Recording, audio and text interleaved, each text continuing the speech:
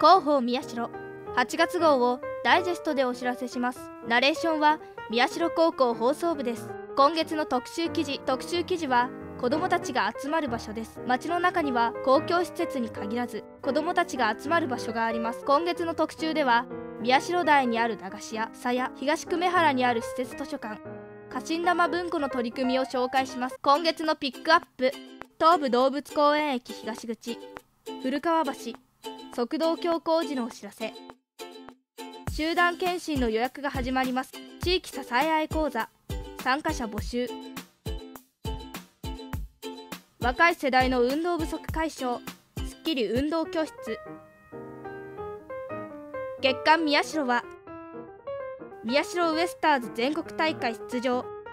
高松宮杯全日本軟式野球大会2部で全国大会に出場します。動物集会所オープンデイ協会主催で子どもたちの居場所づくり授業が行われました。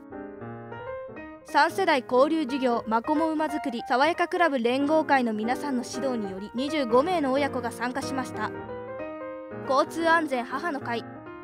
高齢者お達者訪問。交通安全意識の向上を図るため交通安全母の会が姫宮南団地で啓発品を配布しました。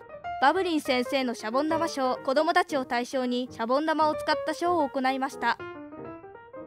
今月の広報は16ページ。ナレーションは宮代高校放送部でした。読んでね。